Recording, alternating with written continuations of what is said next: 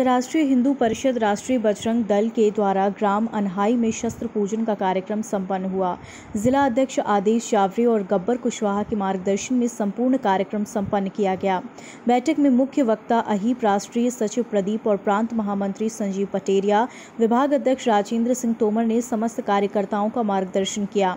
बैठक में जिला महासचिव दीपेश पटेल, जिला कोषाध्यक्ष त्रिभुवन कुशवाहा कपिल राजपूत, नीरज कुशवाहा उपस्थित रहे। कार्यक्रम में ग्राम उपाध्यक्ष गब्बर कुशवाहा और उसकी टीम का विशेष योगदान रहा। गाँव में नए कार्यकर्ताओं ने राष्ट्रीय बजरंग दल की संकल्प लेकर सदस्यता ली।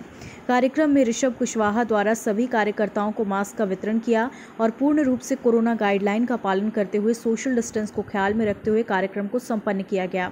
कार्यक्रम में ग्राम वरिष्ठ राजकुमार जुदेव, बारेलाल कुशवाहा, हरिओम मेहरा और अनहाई डूमर सलैया मालनवाड़ा ईशरपुर नयाखेड़ा दहलवाड़ा कला पिपरिया से सैकड़ों कार्यकर्ता उपस्थित रहे।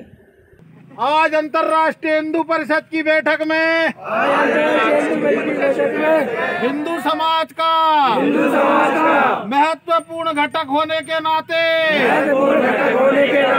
मैं ये संकल्प लेता हूँ। मैं ये संकल्प लेता हूँ। हिंदू समाज की हिंदू समाज की रक्षा करूँगा।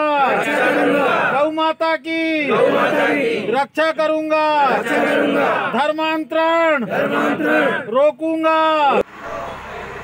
विजय ध्वजा फहराने। विजय ध्वजा फहराने। अंजड़ाई ले चले पुत्र हैं। पुत्र मिटाने।